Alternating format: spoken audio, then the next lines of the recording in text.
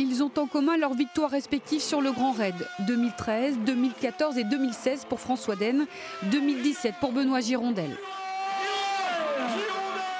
Il n'y a pas besoin d'être élite.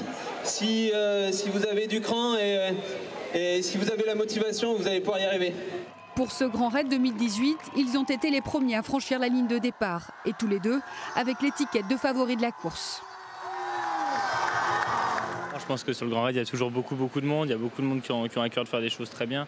Et puis euh, voilà, sur l'Ultra Trail, c'est vrai que c'est plus la motivation qui joue que, d'autres choses. Donc euh, c'est pas parce qu'on est une grande, grande tête affiche qu'on sera forcément le plus fort. Il y en a qui sont peut-être un petit peu moins connus, mais qui ont tout à cœur de faire bien et puis qui, j'espère, pourront se démarquer là.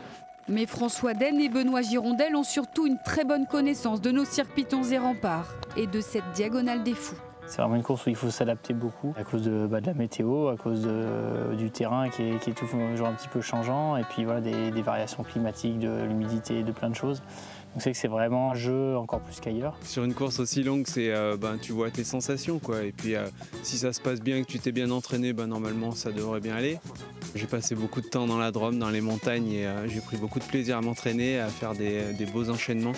L'autre point commun de ces deux coureurs exceptionnels, l'orniac, cet esprit de la gagne qu'ils cultivent depuis des années. Des coureurs qui sont tous les deux portés sur cette diagonale par une solide team. Désormais lancés dans un coude à coude, presque un corps à corps, François Den et Benoît Girondel sont surtout tous les deux à leur quatrième participation sur le Grand Raid. Et tous les deux ont le même souhait, remporter la première place de ce Grand Raid 2018.